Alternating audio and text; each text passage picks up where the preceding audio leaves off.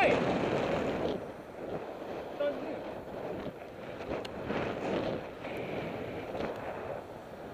Look, look your number plate up on YouTube, you see what you did.